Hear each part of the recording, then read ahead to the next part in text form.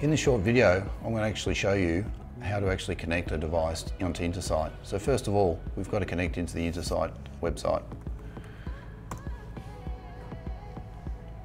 The first page we see is obviously where we've got some uh, credentials that we need to enter and here we're going to use our Cisco CCO ID and we're assuming that since you actually have UCS that you'll have this ID already created. However, you will see there's a link here to be able to send you to create a Cisco ID. Once we've actually logged in, we'll actually be presented obviously with an overview and of the licensing agreement that we need to accept. After reading that, I accept that and move into the next phase. On this account creation, obviously there's an account name and device IDs that we need to actually claim with. These are actually presented from the UCS equipment that we have on-prem. To get these, we actually log into the Cisco UCS Manager, for example, when we're looking at a Fabric Interconnect. I'll just jump across to that now and grab those details. Within UCS Manager, we go to the actual admin tab, and then we can drill down to the device connector.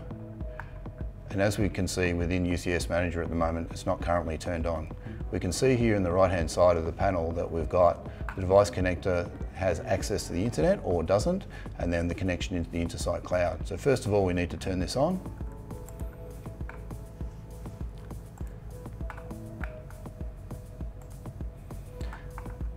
As we can see, it's starting to go through the process of being able to talk to the internet.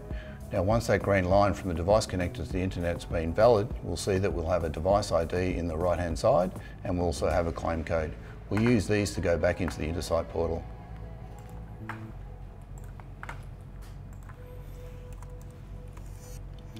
Just going to add a test name or an account name.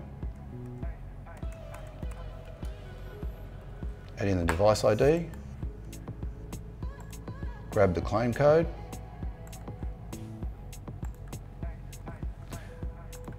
and then select create. This will just take a couple of minutes as they start to be connected into Intersight. Straight away we see that now we've got a successful green tick, which is a good thing. When we go back into UCS Manager and do a refresh, we now see that we've got the device connector, internet and connection into Intersight. As you would notice, you now got a device ID on the right hand side, but the claim code's now gone missing. It should be noted that these actually time out, so they will roll over and don't last lifetime. For further information, please uh, log on to data3.com or contact your account manager. Thank you.